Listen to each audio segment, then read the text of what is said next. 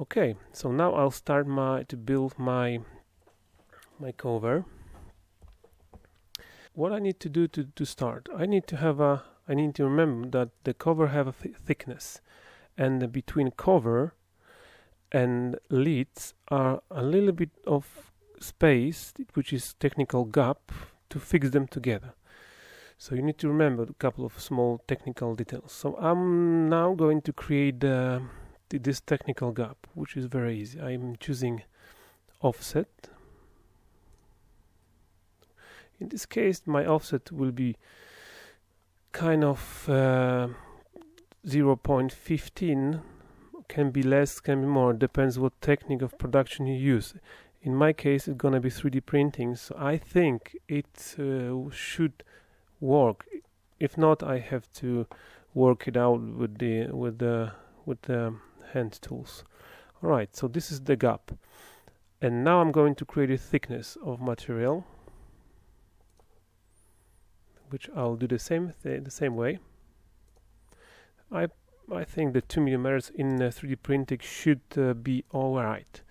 Okay so I've got a couple of dimensions. Actually I could put that uh, technical important data to my layers I will for example put this to this layer.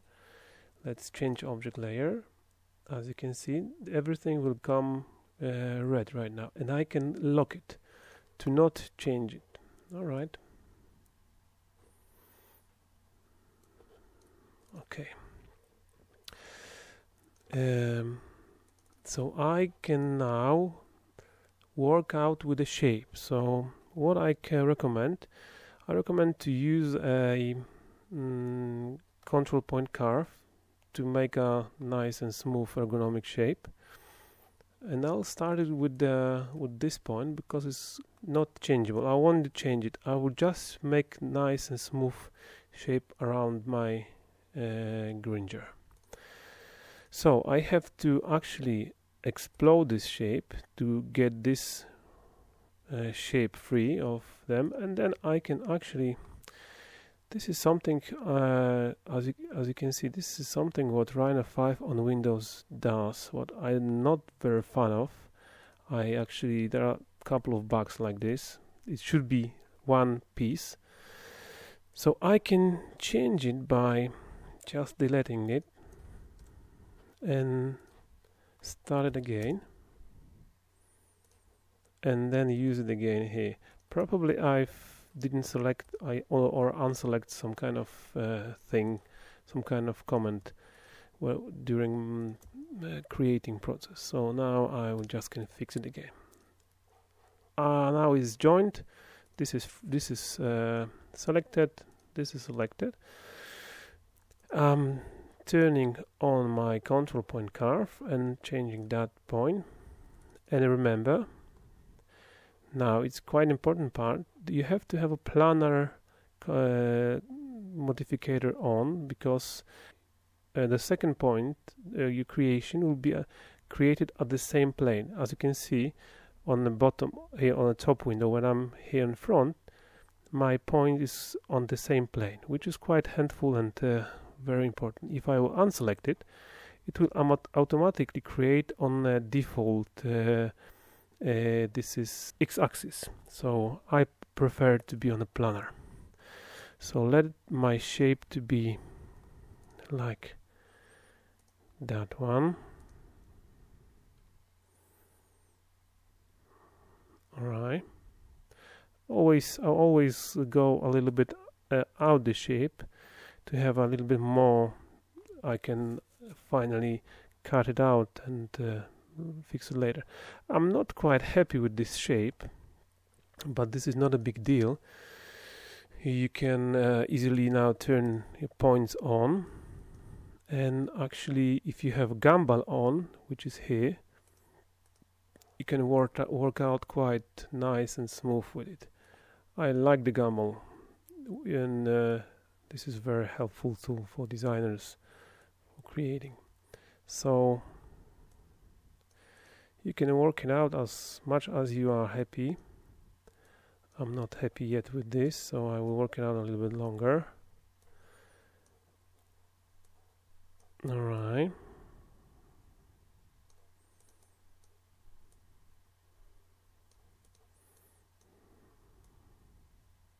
So as I said, I don't want this shape to be a very different than my shape before, but I just want to be more ergonomic because I have been using this grinder for years and it always uh, wasn't best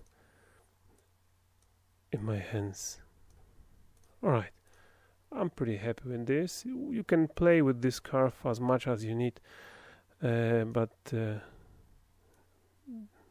okay. Let's have a look how how it looks in a 3D. I need to uh, turn points off. This is great. So now to get the best effect, I need to turn this curve to that um, level, to that um, di direction. So I'm just move to top window and then select rotate. And I'm select from that here and then so align with this line. And also I need to have a copy of it on the other side. So this is not a big deal. You just need to select mirror and your selection mirror will be zero point and select with shift somewhere somewhere uh, with y axis look this is what I get and now actually I just need to make a comment sweep one rail okay this is a rail this is cross section curves. Okay we've got outside shape ready to play with. I'm quite happy with this.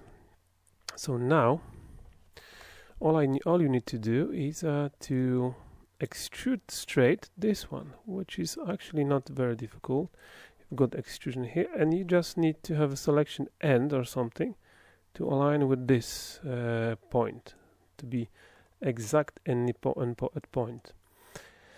And if you made it something like this you see that there are faces which are too long so I have to trim using this one as you can see and that part. Alright so now if I join it everything will be one part. If you click it and everything is selecting it's now one part. Great this is quite well done job. So let's go a little bit further. Let's make a shell. Uh, I need to cap it make a caps from uh, from the top and uh, from the bottom. Caps is here. Alright and now I need to go to the shell. Sometimes it's good to use only these tools but sometimes I prefer to use that tools because they are coming very much more uh, comments. Shell is here. So look now I choose shell and thickness of walls will be 2 millimeters which actually I is quite pretty the same what I choose here. Alright and I uh, choose top face to create the and a shell so basically now all you, all you need to do is just print it but it won't fix to the grinder because there are no technical uh, technical mounting holes and all the stuff is necessary to do it. So let's do it. So I found out that red curve it's my um, uh, top mill construction um, container and I can actually hide this one for now. Hiding tool is actually something I'm using very often. Hiding and uh, in inverting selection which is very handy. Okay, uh, 74 is a dimension of inside shape. So to fix my con mill container, I need a little bit um, more. So I've created this um, 73 and uh, 0.9 here. Now I have to make a um, offset exactly to that that uh, offsetted uh, circle. So instead of writing distance I'll just show distance and this is what I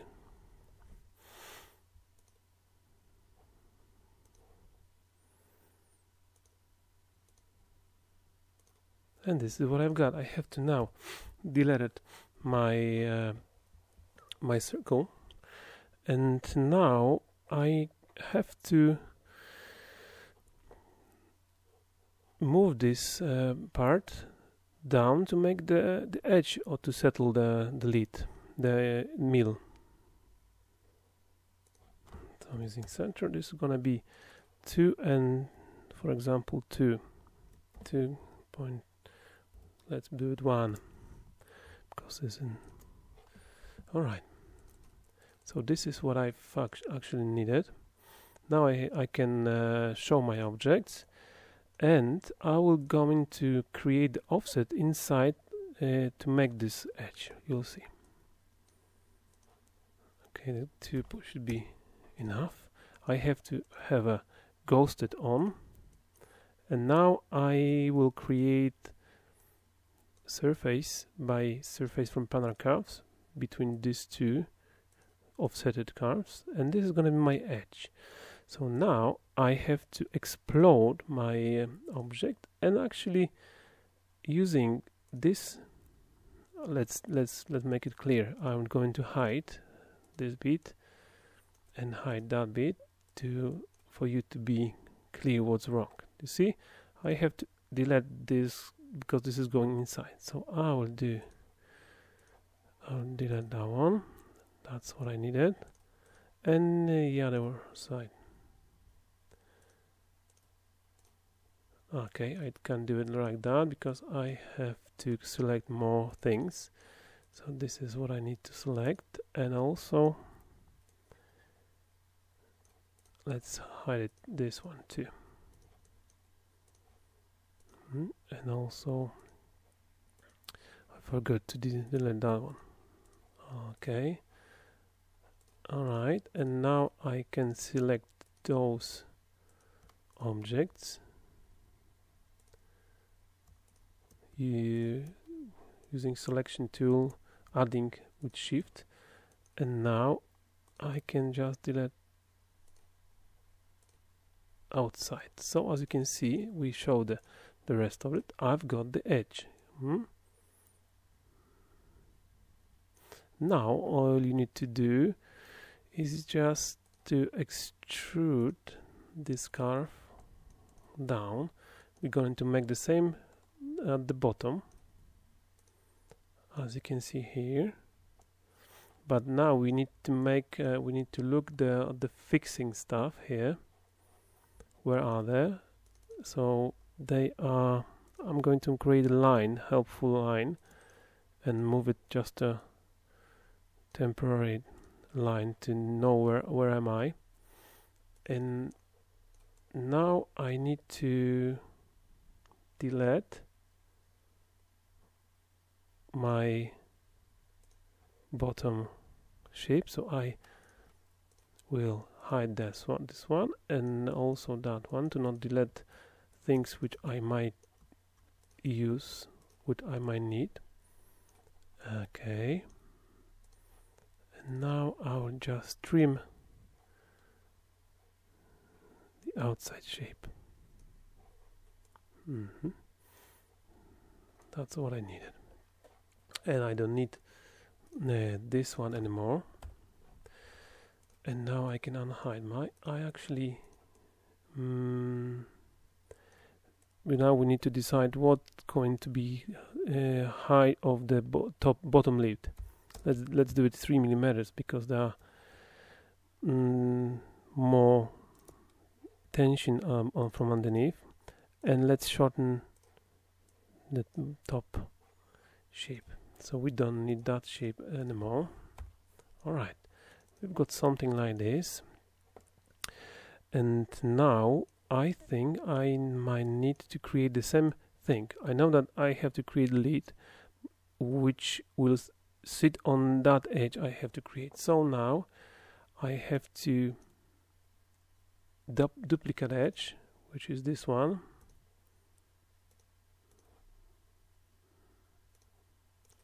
And straight on join it. Now it's one piece.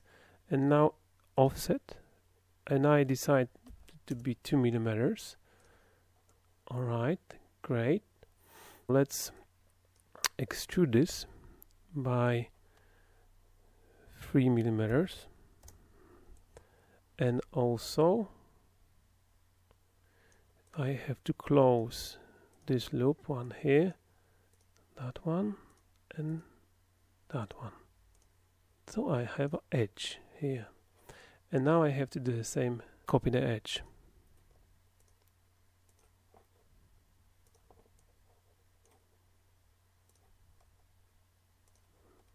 okay it's copied. Now I have to join straight on. Alright and now I can make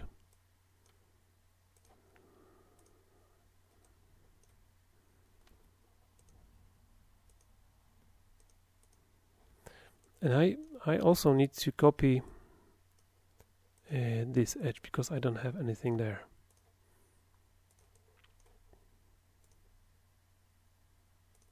Alright and straight on join and now I just need to create a planar surface. Great. Now everything is capped. I've got a shell pretty technical uh, ready to print.